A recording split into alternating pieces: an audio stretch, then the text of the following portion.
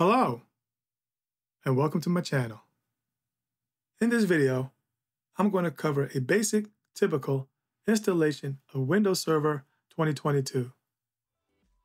For an advanced installation demonstration, see Windows Server 2022 Advanced Installation. Here, we're going to do a straightforward install followed by required and recommended configuration steps. We will cover installation, initial required configuration, driver and Windows updates, recommended configurations, and firewall modifications to allow ping responses. The steps in this demonstration are platform agnostic and only cover the installation of the operating system after booting with install media. Steps for configuring a physical server or an underlying host hypervisor are not covered and are outside the scope of this video. Let's get started. At the first server setup screen, select your regional settings and desired language. Click Next, followed by Install Now. Here, we are presented with two SKUs, each with two options. The options that read Windows Server 2022 Standard or data center installs the minimalist server core version that has no familiar GUI. The options that read Desktop Experience provide the well-known Windows Explorer desktop that everyone is familiar with. Here, we're going to select Windows Server 2022 Standard Desktop Experience. In a later video, we will cover the installation of Server Core. Click Next. You read through and accepted the license terms, right? Of course you did. Check the checkbox and click Next. Since this is a clean installation on physical hardware or on a local or cloud-hosted virtual machine, click Custom. We'll cover an upgrade installation in a future video. If no drive is listed, please see Windows Server 2022 Advanced Installation. With a blank drive on a clean system with no previous operating system, click Next. Following the installation and reboot, enter a strong password for the local administrator account. Log in.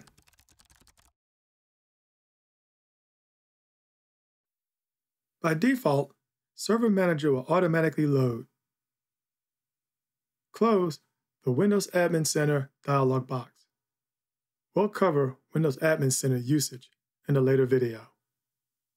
Under Roles and Server Groups, disregard the boxes in red for now. Click Local Server. We are going to assign a static IP address. Click the link next to Ethernet. Right-click Network Adapter and select Properties. Select IPv4, click Properties. Enter network settings that are appropriate for your environment and click OK, followed by Close. Close the Network Connections window. Change the time zone to match your location. Click Computer Name. At the Systems Property dialog, click the Change button. In the Computer Name field, enter the new computer name. It is important to note that this name is called the NetBIOS name and it should not exceed 15 characters. In the Member Of area, leave the Workgroup Radio button selected.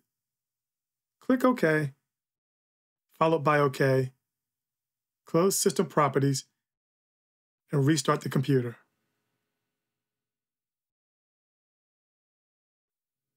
Log in. Prior to proceeding with any other configurations or tasks, we have to ensure all hardware drivers are installed and that the operating system is fully updated and patched.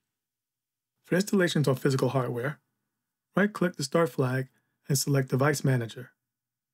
Install the latest manufacturer or Microsoft-provided driver version for any devices that are unidentified, labeled as unknown device, or exhibit a yellow cautionary symbol. When complete, close Device Manager. For virtualized installations, install the latest agent or tools package required by a hypervisor platform. At Server Manager, Local Server, click on Windows Update. Click Advanced Options and turn on Receive Updates for other Microsoft products. Click the back arrow and click Check for Updates. The update process can take some time, so please be patient and restart when prompted. Log in. Open Windows Settings and click Update and Security. It should say you're up to date. Close Settings. In the Windows search bar, type WinVer to see the Windows Server version and build number. See the Microsoft Windows Server 2022 Update History page to verify the latest version and build numbers. Close the About Windows dialog. Since Microsoft Edge is now included with Windows Server 2022, we want to make sure it too is fully updated. Open Edge and acknowledge the welcome screens. Click the ellipsis in the upper right corner, select Help and Feedback, and click About Microsoft Edge. The initial version of Microsoft Edge, shipped with Windows Server 2022, is 86.0.622.38. Edge will automatically check for updates while on the About screen. Restart Edge to complete the update. Notice the Edge version is now updated to the latest version. Close Edge.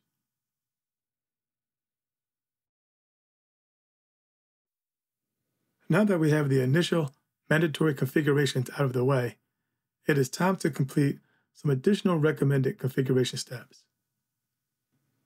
In the taskbar search bar, type Power. Select Power and Sleep Settings. Click additional power settings.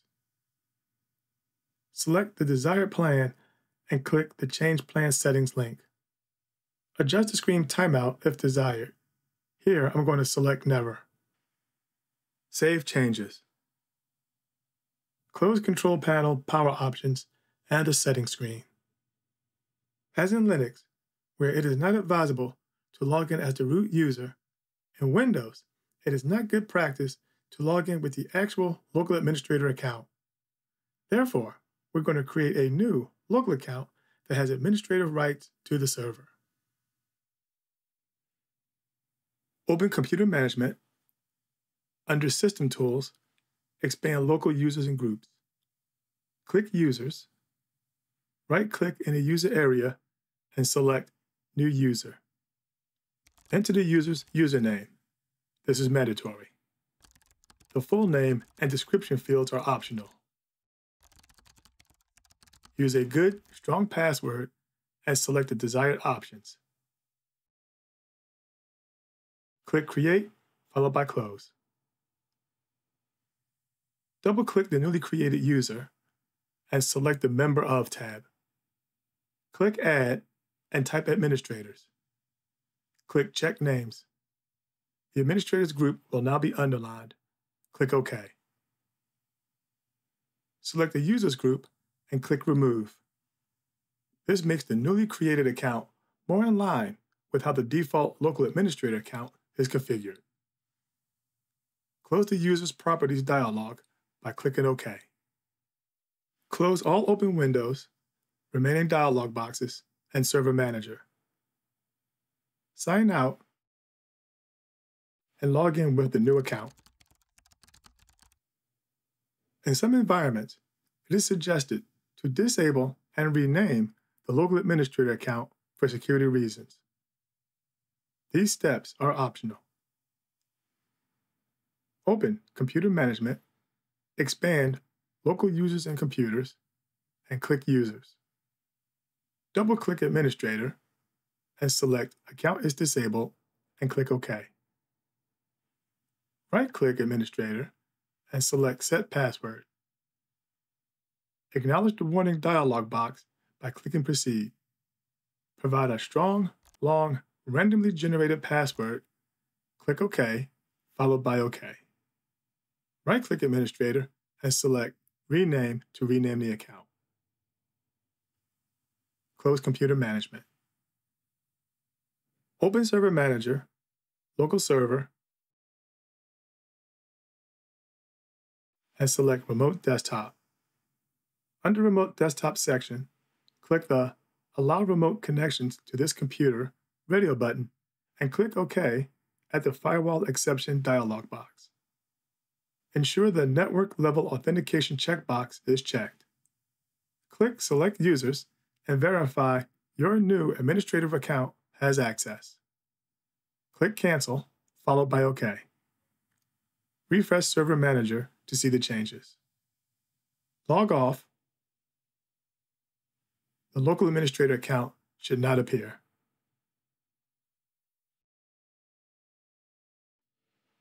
By default, with a clean Windows Server installation configured as a standalone server, Windows Server does not respond to ping requests. You have to enable the capability manually. From another computer that's on the same network subnet, try to ping the server's IP address. You will see that the ping requests time out. With Server Manager open, click Tools and select Windows Defender Firewall with Advanced Security. Click Inbound Rules Scroll down to Core Networking Diagnostics, ICMP, Echo Request, ICMP v4-In on the private public profile and double click to open. Under General, click the Enabled checkbox and click OK. Likewise, setting File and Printer Sharing, Echo Request, ICMP v4-In to enable will accomplish the same thing for Windows Server 2019 and earlier. From the same other computer on the same subnet, you will notice the server now responds to ping requests. Back at the server, close Windows Defender Firewall with Advanced Security.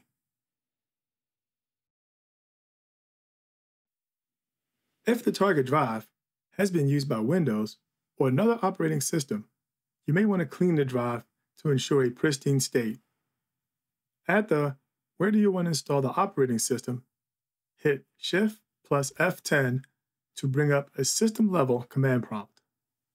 Type diskpart. Type list disk to see the disk information. In this example, the disk is disk 0. Type select disk 0 to select the disk. Type clean. Type list disk to see the changes. Type exit twice to leave a diskpart and close the command prompt. Click refresh to see the clean drive shown as unallocated space. At the date and time dialog box, if desired, click the additional clocks tab and select up to two other time zones. If you need to synchronize with a different time server, click the Internet Time tab, click Change Settings. The two default entries in the dropdown are time.windows.com and time.nist.gov. You can also manually enter a time server. In the computer name slash domain changes dialog box, click More enter the primary DNS suffix of the computer if desired or necessary. In some environments where the server will not be a member of a domain, this setting may be necessary where some DNS servers cannot resolve short names. Otherwise, leave the field blank and leave the Change Primary DNS Suffix checkbox checked. Virtualization, Agents, and Tools